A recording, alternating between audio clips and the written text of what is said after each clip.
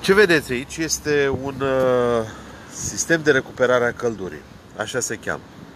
Practic, partea asta din dreapta, care este motorul navei, cuplează printr-un ax elicea. El consumă energie, e firesc. O parte din energia asta, vă pot spune, că poate fi recuperată. De ce? Pentru că randamentul motorului este suficient de redus. Și atunci, după cum vedeți, unul este motorul, 3 este practic turbina. De la turbină în sus apare un recuperator de căldură.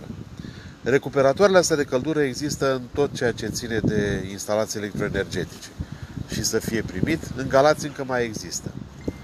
La Galați, să știți că nu se făcea șantier naval dacă nu existau 80% din zile însorite, pentru că genul ăsta de lucrări se fac la temperaturi bune și la soare, și ca să vă spun că sub 4 grade nu se sudează parcă, sau sub 8, oricum, deci sub 4 grade în cel mai rău caz nu se sudează. Piesele ca să poată fi sudabile trebuie încălzite corespunzător, se face tot cu un sistem, dar asta este posibil în condițiile care ai lumină, pentru că majoritatea volumelor de navă fiind mari, ele nu pot fi angajate într-un proces dintre ăsta de construcție industrială acoperit. Și atunci toate se desfășoară în mare la lumina soarelui. Restul activităților despre care știți că se făceau uh, în două sau trei schimburi depindeau foarte mult și de frontul de lucru. În special se lucra înăuntru pentru a se accelera procesul de saturare al corpului navei. Deci luați în calcul faptul că în Galați sunt instalații industriale care pot recupera căldura. Luați în calcul faptul că 3 pătrimi minimum din an este soare și se pot folosi celule Uh, solare care să producă căldură. Luați în calcul faptul că e una dintre cele mai mari gropi de cărbun de gunoi din țară, unde gazul arde pe căi naturale și la intrarea în oraș dinspre Movile miroase a hoit tocmai din cauza asta. Luați în calcul că trece Dunărea pe lângă noi, iar când trece Dunărea asta pe lângă noi, să știți că ea practic curge, asta înseamnă energie cinetică și la noua generație de generatoare electrice se pot face ferme de curent care practic pot produce iar energie.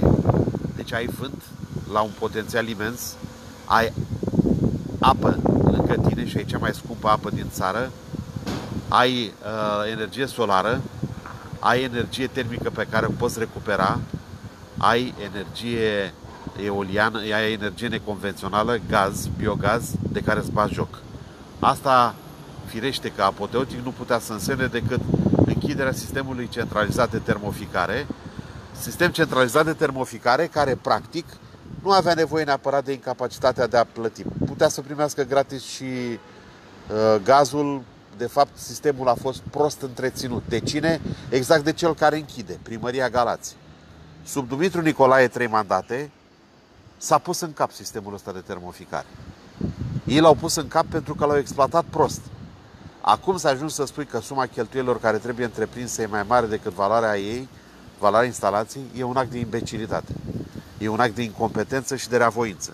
E un mecanism care ascunde un parandărăt foarte bine ticluit, în care îl folosește pe primar drept uh, înger inocent, tocmai pentru a se putea strivi totul și a se nărui, așa cum și industria a fost la un moment dat al ei, un morman de fiare vechi.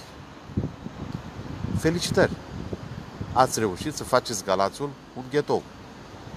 Eu nu spun chiar să nu te mire mâine că ți implodează piața imobiliară, că piața muncii oricum va scădea, pentru că dacă într-un oraș în care nu există soluții tehnice pentru încălzire și termoficare, în care de 2 ani de zile nu dai apă caldă, crezi că vei fi în situația în care să spui că ai forță de muncă profesională, calificată, un corp ingineresc pregătit și de elită, cu universitate politehnică, cu un mare șantier naval, cu un mare, totuși, la nivel național e cel mai mare încă, combinat siderurgic, cu un corp ingineresc de elită, să nu fii în stare să faci termoficare, să nu fii în stare să ai un program de management operațional și să-ți repari o rețea de țevi, îmi cer scuze, eu nu spun chiar, nu ești primar tat, ești un păcălici, cu tot respectul, nu am vorbit cu tine asemenea funcții mă gândesc cu tine, asemenea primarul. Domnule primar, ești un păcălici, cu tot respectul.